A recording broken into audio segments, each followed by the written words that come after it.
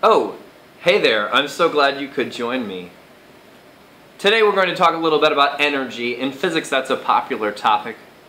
And in particular we're going to talk about an energy account that is mysterious, hard to track. Thermal energy.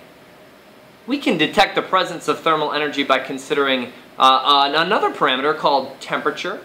And there's this great camera called the FLIR 1 it can slam into your iPhone or Android or whatever, and it'll enable you to produce a, a graph. It's actually a three-dimensional graph where temperature can be graphed as a function of x and y. So it looks like a photograph, but temperature of the various things that are being photographed are revealed.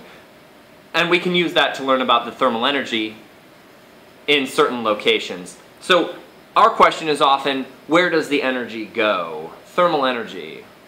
What's it all about? And today you're going to be able to see several things happen, the first of which is some hands on a table, and then you'll see an eraser rubbing a table, perhaps to erase it. And then you'll see a wad of clay being slammed into a table. After that, all that's left is a mysterious man walking away barefoot. Please enjoy.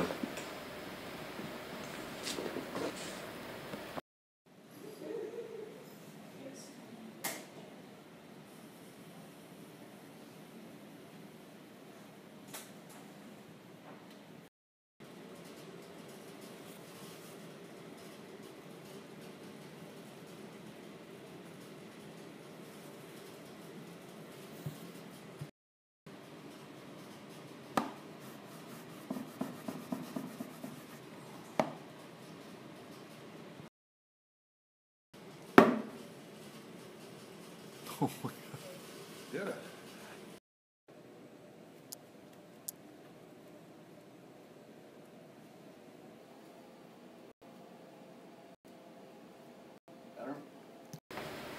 So in conclusion, what do you do when you're being hunted by the predator?